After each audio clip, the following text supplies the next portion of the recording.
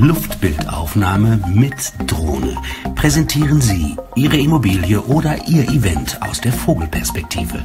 Schnell und effizient, professionell und preiswert. Fliegenderkameramann.de das Ruhrstadion ist normalerweise der Ort für harte Zweikämpfe und heiße Duelle. Jetzt aber wird es auch abseits des grünen Rasens spannend. Denn Dr. Karl-Heinz Bauer möchte Aufsichtsratsvorsitzender und somit auch Präsident des VfL Bochum werden, da er meint, dass der Verein und seine Führung in der letzten Zeit viele Dinge falsch gemacht hätten.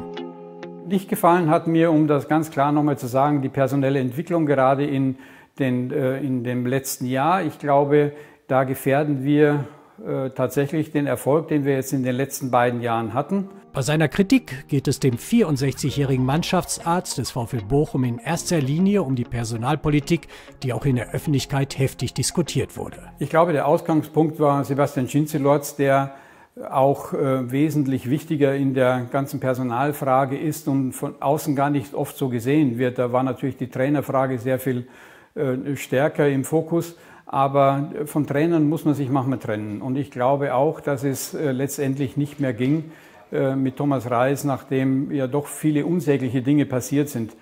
Aber äh, das steht ja heute nicht mehr zur Diskussion. Das ist Vergangenheit und wir müssen nach vorne schauen. Bauer wirft der aktuellen Vereinsspitze rund um den Präsidenten Phyllis also klare Versäumnisse bei der Vertragsverlängerung mit seinen Spitzenkräften vor, ohne allerdings schmutzige Wäsche zu waschen. Das jetzige Präsidium hat äh, definitiv einen Bonus als äh, Kanzlerbonus sozusagen. Und äh, wirtschaftlich steht der VfL auch nicht schlecht da. Wir haben 21.000 Mitgliedern, vor drei Jahren noch 10.000. Das sind natürlich alles Dinge, die sich letztendlich auch das Präsidium auf die Fahnen schreiben wird.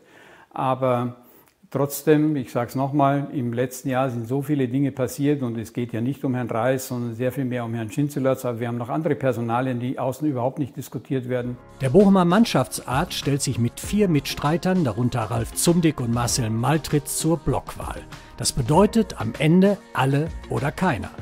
Richtig. Und es geht auch nur im Block, so sieht sie auch die, äh, die Satzung des VfL vor und auch das jetzige Gremium wird als äh, Block antreten. Sollte eine Einzelwahl sein, werden wir als Block nicht antreten. Und falls Sie die Mehrheit erhalten sollten, würde sich Dr. Karl-Heinz Bauer zum Aufsichtsratsvorsitzenden wählen lassen. Richtig, so sieht's aus. Nun, egal wie die Wahl ausgeht, eines dürfte klar sein. Einen Mannschaftsarzt namens Karl-Heinz Bauer wird es im nächsten Jahr so oder so wohl nicht mehr geben.